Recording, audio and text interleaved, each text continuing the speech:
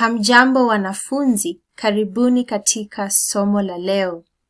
Welcome to today's Swahili lesson. Jina langu ni Jacinta. Today I'm going to take you through useful Swahili sentences when you are new in a Swahili speaking town or country and you want to get to know uh, where places are located. For example, where the hospital is, where the pharmacy is, and many other places. Let's get started. Je, kuna duka karibu? Je, kuna duka karibu? Is there a shop nearby? Je, kuna duka la dawa karibu? Je, kuna duka la dawa karibu? Is there a pharmacy nearby? Je, kuna mkahawa mzuri karibu? Je, kuna mkahawa mzuri karibu? Is there a good restaurant nearby? Je, kuna hospitali karibu? Je, kuna hospitali karibu? Is there a hospital nearby?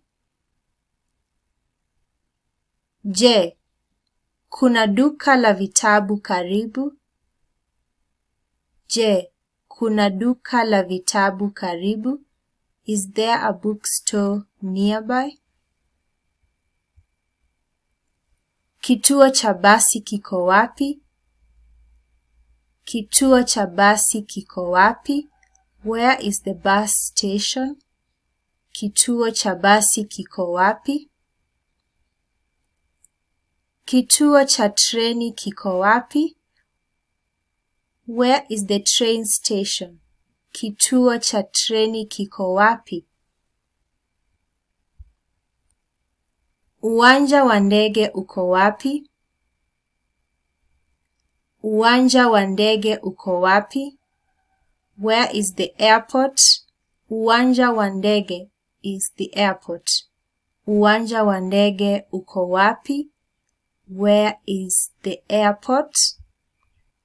So those are some of the few sentences that can be useful to you when you travel to a Swahili speaking country and you want to get around.